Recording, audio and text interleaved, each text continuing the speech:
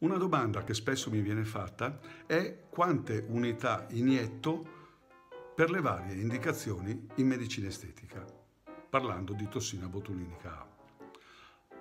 Questa è la mia risposta normalmente. Se inietto Azalur alla diluizione on label di 0,63 ml, normalmente per essere molto prudente inietto due unità.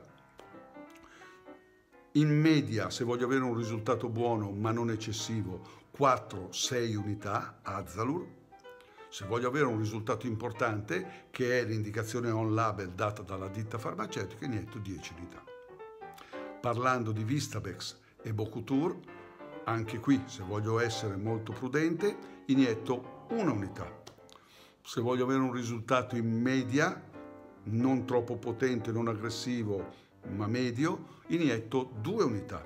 Se voglio avere un risultato importante, inietto 4 unità. Diluizione ovviamente on label 1.25 ml di soluzione fisiologica per Vistabex e Bocutur. Ripeto, diluizione on laber per Azalur 0,63 ml di soluzione fisiologica.